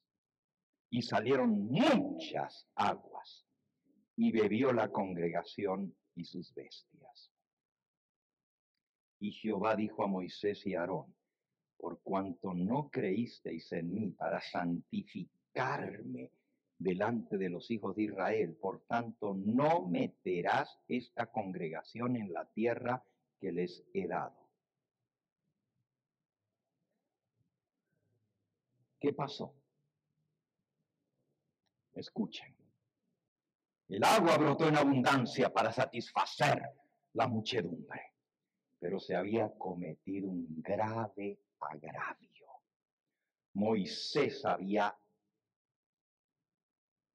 hablado, movido por la irritación, afloraron sus defectos de carácter que habían sido vencidos por tantos años. 40 años había dominado su carácter. Esto nos enseña una gran lección. Es como el borracho. El borracho puede no haber tomado por 20 años,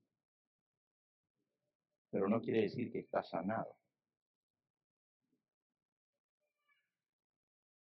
Todavía tiene la debilidad, todavía tiene la propensión, todavía tiene la inclinación. Lo mismo pasa con el drogadito. Puede haber dejado la droga y haberla vencido mucho tiempo, pero la propensión sigue y tiene que haber un cuidado constante para que ésta no domine. Las palabras de Moisés expresaban la pasión humana más bien que una santa indignación porque Dios había sido deshonrado. Fíjense, cuando Moisés se enojó y quebró las piedras y quemó el becerro y lo hizo polvo y se los hizo beber, Dios no lo reprendió porque era una indignación santa contra el haber violado la ley de Dios. Pero esta vez no fue indignación santa, fue pasión humana. Oíd ahora, rebeldes, había dicho. Y a pesar de que lo que él decía era cierto, dice Elena de White, ni aún la verdad debe decirse en forma apasionada o impacientemente. No es solo lo que decimos, sino cómo lo decimos. Ojo, porque yo puedo estar diciendo la verdad, pero si tengo enojo, si tengo pasión en la manera como yo actúo, no estoy reflejando el carácter de aquel que es manso y humilde de corazón cuando Dios le había mandado a Moisés que acusara a los israelitas de rebelión. Las palabras habían sido dolorosas para él y difíciles de soportar para ellos. Sin embargo, Dios le había sostenido a él para dar este mensaje. Pero ahora, cuando se arrogó la responsabilidad de acusarlos,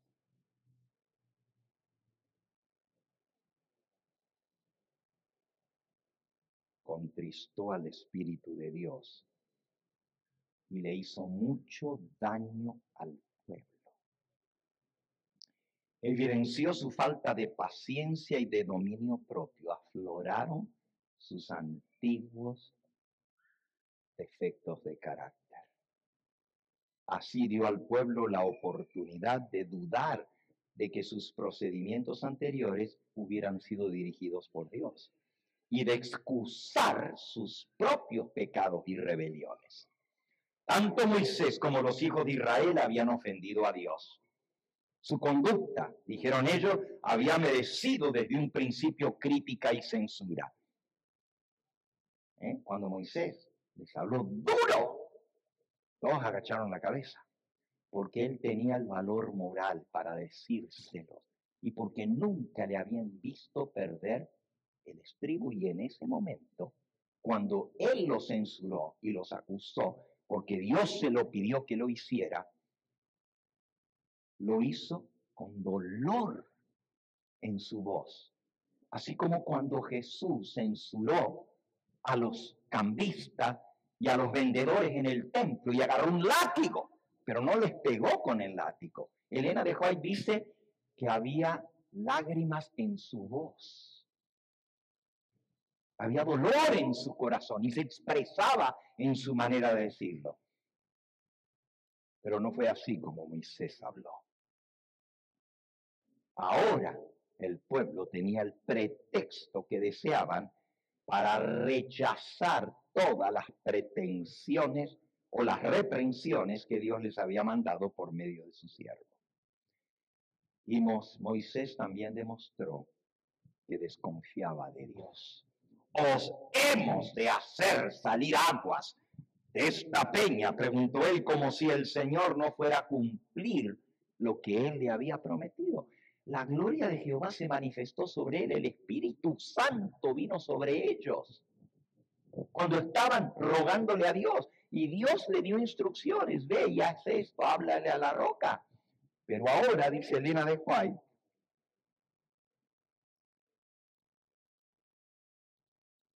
él habló como si el Señor no fuera a cumplir lo que él le había prometido.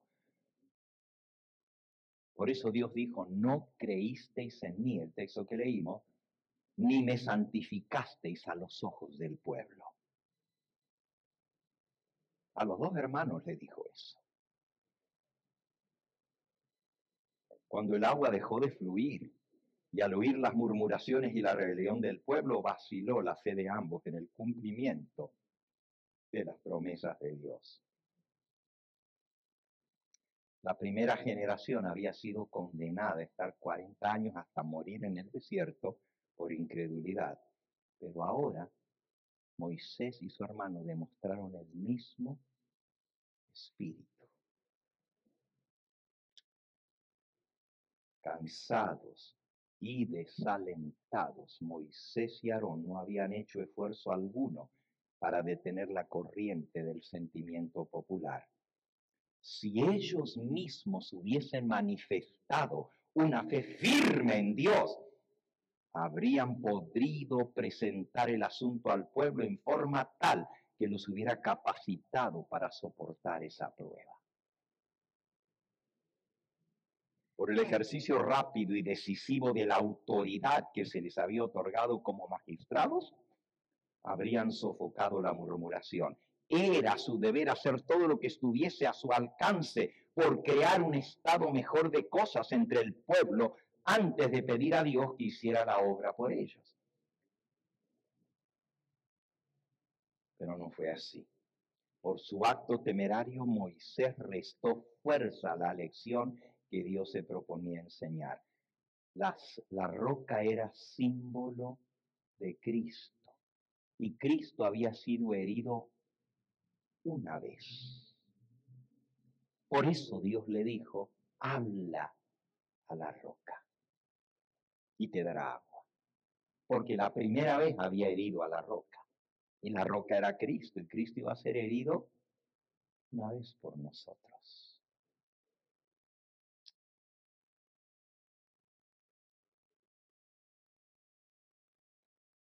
Le costó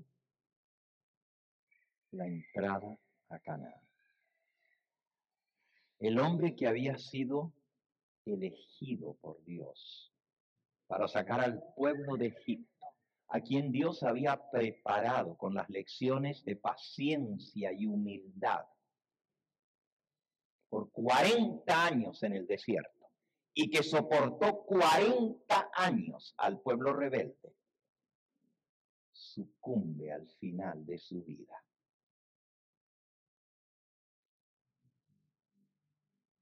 y da lugar a faltarle a Dios.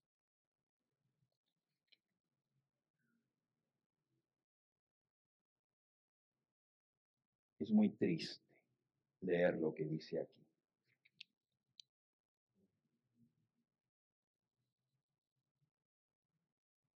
Si ustedes leen, Moisés no ocultó su pecado. El capítulo que sigue les dice a todo el pueblo su sentencia, que él no iba a entrar en Canaán con ellos. Reconoció su pecado. Y hasta les dijo, Jehová se enojó contra mí por causa de vosotros. Todos los ojos del pueblo estaban fijos en Moisés y su pecado arrojaba una sombra sobre Dios, porque le había escogido como jefe de su pueblo. Toda la congregación se dio cuenta de la transgresión Y si se la hubiese pasado por alto como cosa sin importancia, se habría creado la impresión de que bajo una gran provocación o incredulidad, la impaciencia podía excusarse entre aquellos que ocupaban elevados cargos de responsabilidad. Pero cuando Dios declaró que a causa de aquel pecado único, Moisés y Aarón, los dos, no habrían de entrar en Canaán, el pueblo se dio cuenta de que Dios no hace acepción de persona, sino que ciertamente castiga al transgresor. Ni siquiera la integridad y la fidelidad de Moisés pudieron evitarle la retribución que merecía su culpa. Dios había perdonado al pueblo de transgresiones mucho mayores. A lo largo de 40 años no los había destruido. Pero no podía tratar el pecado de un líder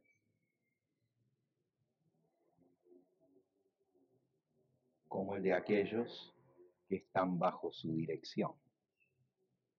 Había honrado a Moisés por sobre todos los hombres de la tierra. Le había revelado su gloria y por su intermedio había comunicado la ley y los estatutos a Israel.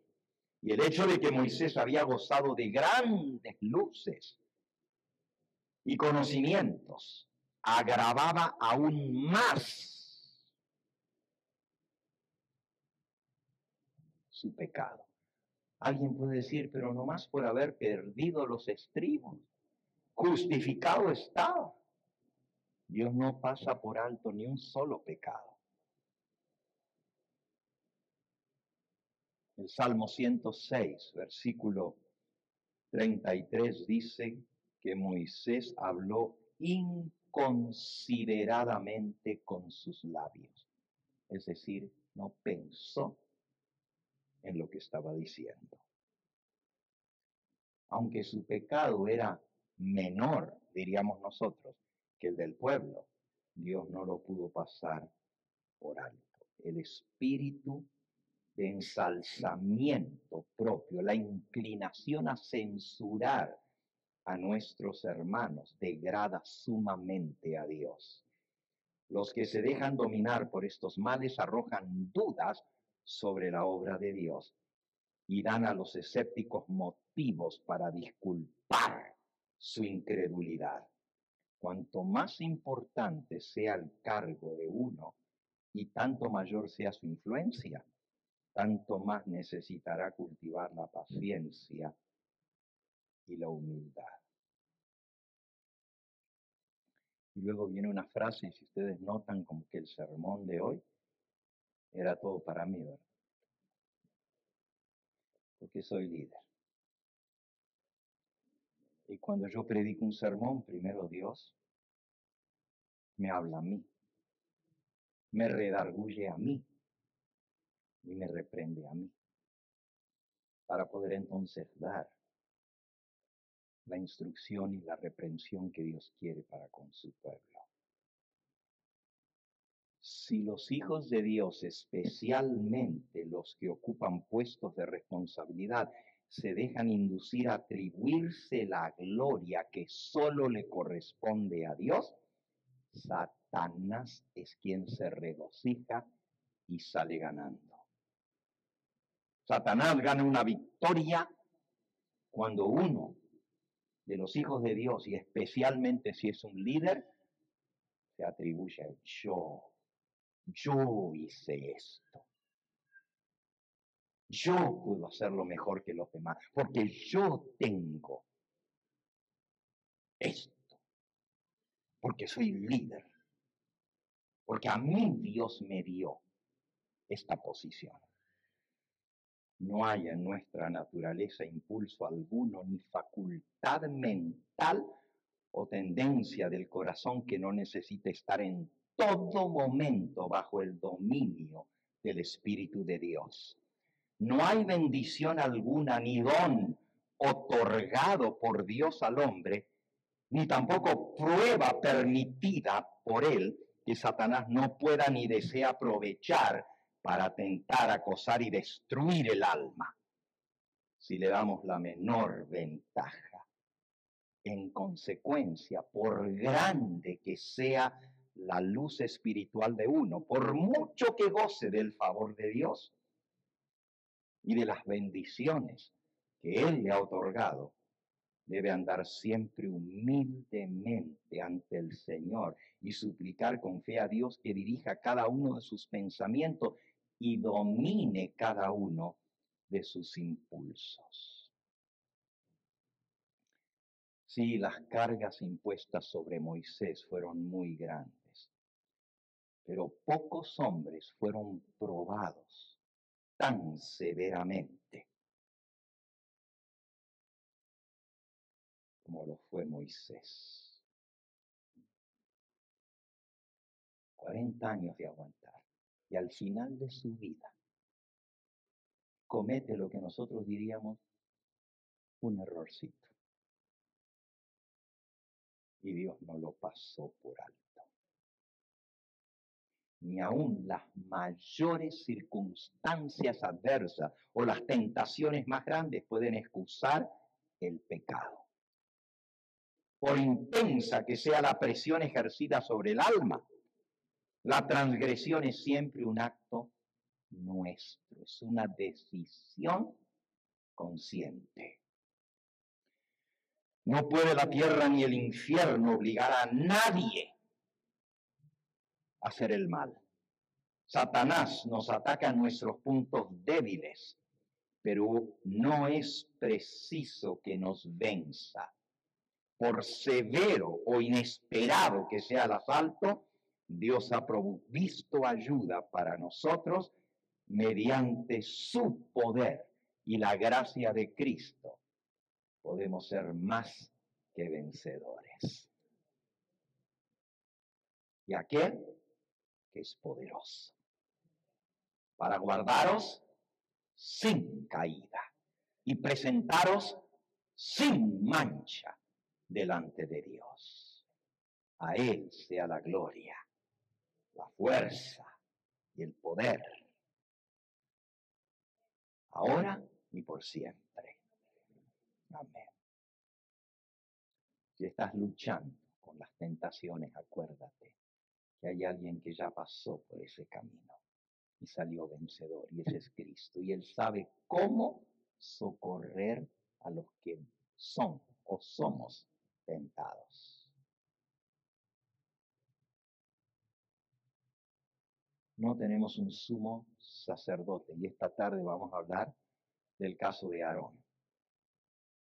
No tenemos un sumo sacerdote que no pueda compadecerse de nosotros, sino uno que fue tentado como nosotros en todo, pero no se dio a la tentación.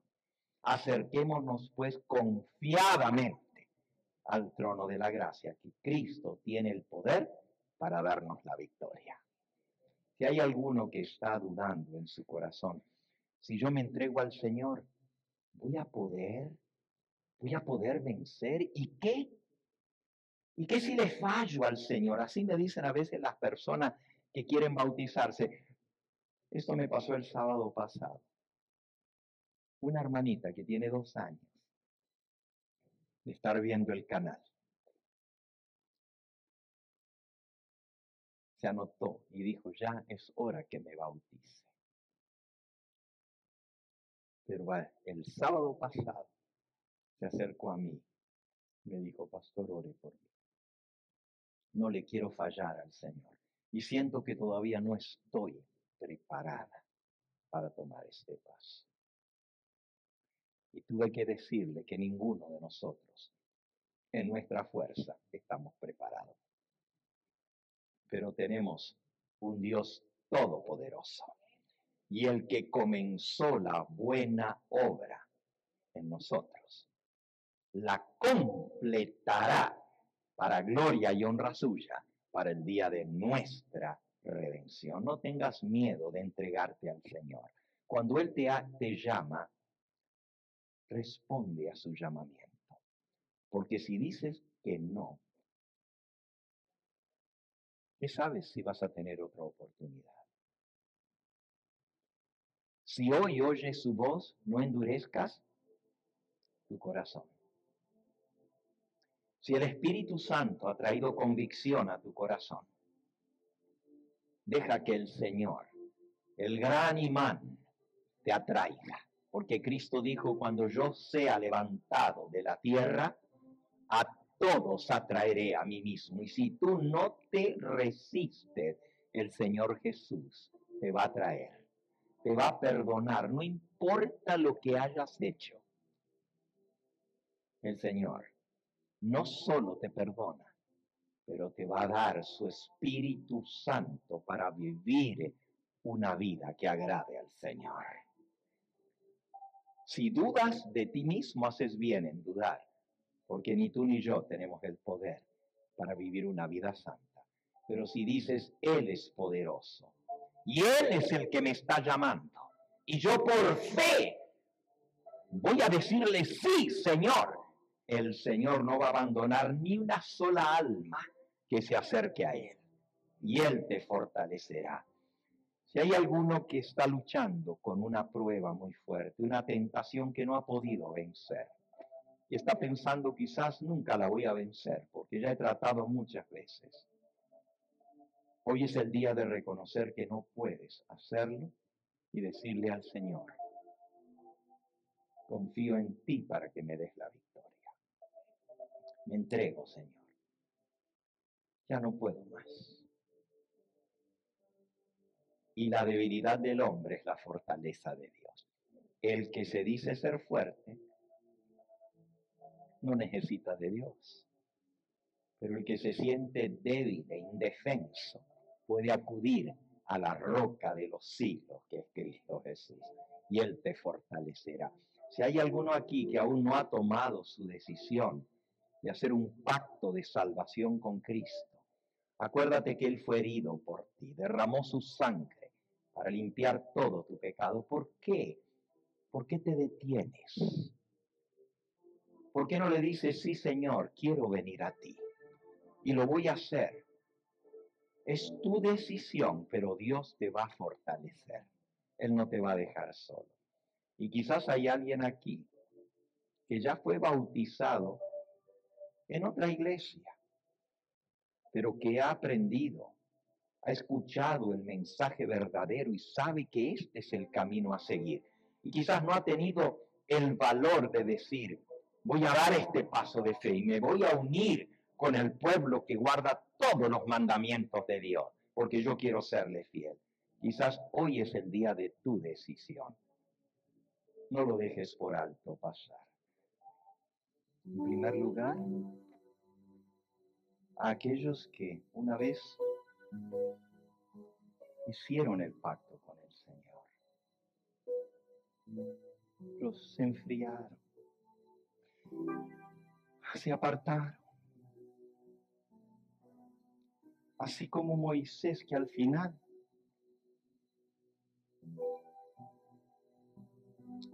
dejó el mal lo venciera. Y si tú eres uno de esos reconoces, también Dios perdonó a Moisés y aunque no entró en la tierra prometida, le abrió las puertas de la ciudad de Dios. Y el mismo que lo enterró, lo sacó de la tumba y lo llevó a las mansiones celestiales. Si tú le has fallado al Señor y no puedes vencer algún hábito, algún pecado en tu vida, para ti es este llamado. El segundo grupo es para aquellos que fueron bautizados, que aman al Señor, pero le conocieron en otra congregación que no les enseñaron toda la verdad que ahora reconocen que Dios les ha dado. Y quieren decir, Pastor Gambetta, yo soy esa alma, Dios me trajo aquí y quizás me estás viendo por el canal y hace tiempo que estás escuchando este canal. Y el Espíritu Santo ha hecho impacto en tu vida y quieres tomar la decisión de sellar tu pacto con Jesús un nuevo pacto conociendo lo que ahora conoces. Si vienes de otra iglesia, llamas al Señor, pero Dios te ha llamado a unirte con su pueblo que guarda sus mandamientos y sigue su palabra. Para ti es este llamado. Y el tercer grupo es para aquellos que aún no han tomado el paso de entregar su vida a Jesús y hacer un pacto con Él, que aún no han sido bautizados. Yo quiero orar por ustedes hoy, para que el Señor selle esta decisión, para que Jesús sea tu Salvador. Mientras el doctor Bergan canta una vez más la última estrofa de este himno, yo les voy a dar la oportunidad a ustedes de entregarse al Señor. Quiero preguntar, ¿hay alguno en el primer grupo allí donde estás? Si el Señor ha tocado tu corazón y necesitas victoria, necesitas reconciliarte con el Señor, no te dé vergüenza, levanta tu mano. Allí donde estás, veo varias manos, muchas que se han levantado. Bendito sea el nombre del Señor que todavía el Señor tiene misericordia. Hay alguno en el segundo grupo, alguien que ya fue bautizado en otra iglesia, pero que ha conocido ahora la verdad del verdadero pueblo de Dios, de la palabra de Cristo, y quiere decir, pastor, ore por mí, yo quiero seguir a Jesús en todo. Yo quiero unirme con este pueblo que guarda sus mandamientos. ¿Hay alguien?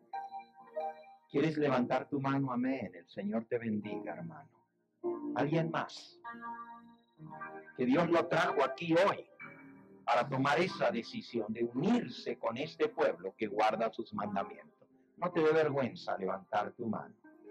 Para ti es este llamado. Amén. El Señor te bendiga a ti también. ¿Alguno más? Ahora para el tercer grupo. Hay alguien aquí que necesita sellar su pacto de salvación con Cristo a través del bautismo y quiere decir, Pastor Gambetta, ore por mí, porque yo sé que tengo que tomar este paso. Que Dios me fortalezca y me ayude, porque yo quiero hacerlo de todo corazón. ¿Hay alguien que quiere levantar su mano y decir, yo quiero tomar el paso del bautismo. Amén. Señor te bendiga. Alguien más, levanta tu mano allí donde estás. Bendito sea el nombre del Señor. Amén. El Señor te bendiga a ti también. Alabado sea su nombre. Vamos a ponernos en pie mientras el doctor Hugo canta una vez más la última estrofa y todos los que levantaron su mano, en el primero, en el segundo o en el tercer grupo, les voy a invitar que se acerquen aquí cerquita a mí para orar por ustedes. Amantísimo Padre y Dios nuestro, alabado y glorificado seas. Gracias porque el Evangelio de Cristo Jesús es poder para salvación a todo aquel que cree.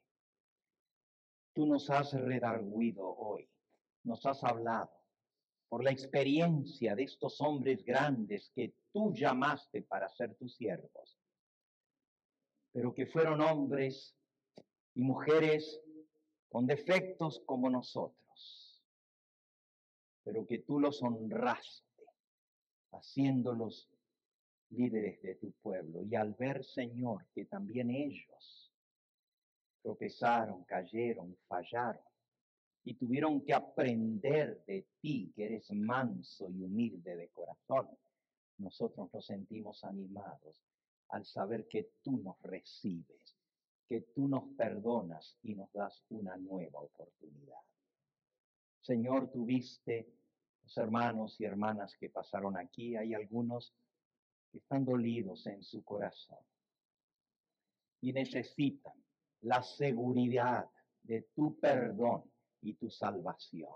Necesitan que tú renueves ese pacto de salvación con ellos. Oh Padre Santo, recibe la confesión de cada alma en esta hora y sé propicio a cada uno de nosotros.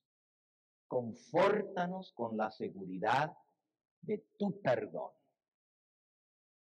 También te pido por los hermanos que han tomado la decisión de unirse con tu pueblo, los que nunca han sido bautizados y los que ya lo fueron, pero han reconocido esta gran verdad y han tomado la decisión de echar su suerte con tu pueblo que te obedece.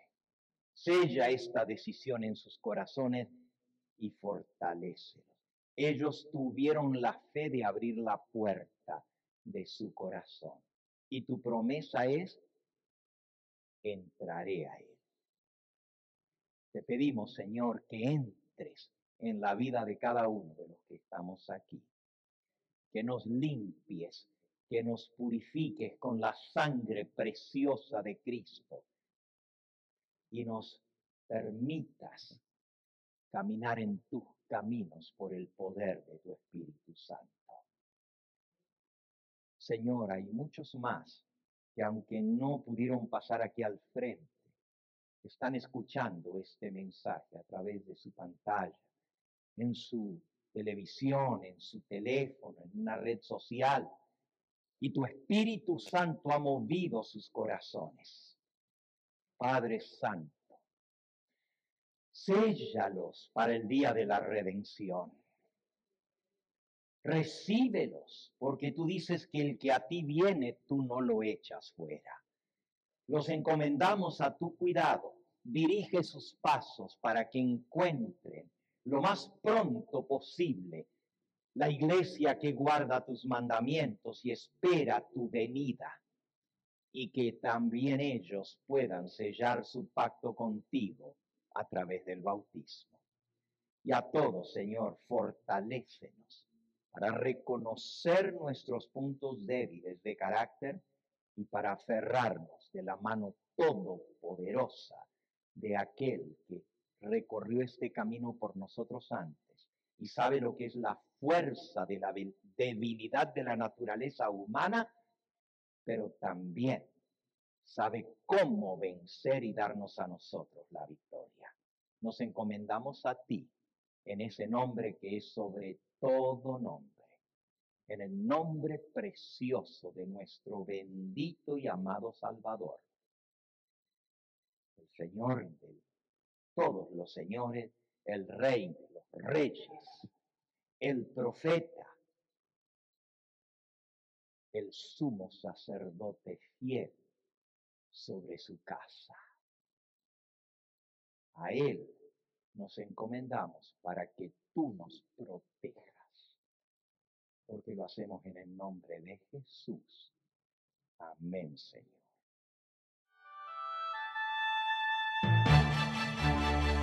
Este fue el Evangelio Eterno, su programa cristiano de actualidad bíblica, trayendo al mundo la verdad presente